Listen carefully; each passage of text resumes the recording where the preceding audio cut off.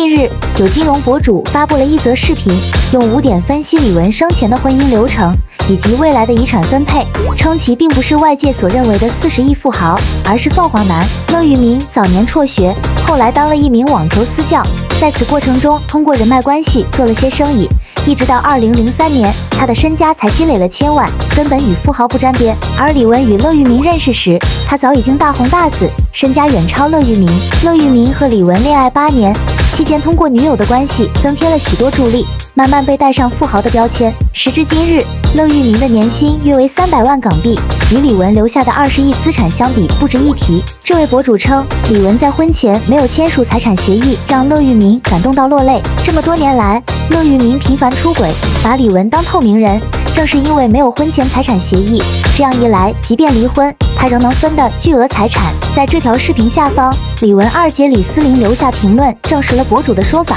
你是解释最清楚的人，是我妹妹一手把她捧上富豪榜，为她拉自己的关系上位。七月八日，李思琳又通过社交平台转发了一则网友曝光乐玉明公司电话的动态，并澄清，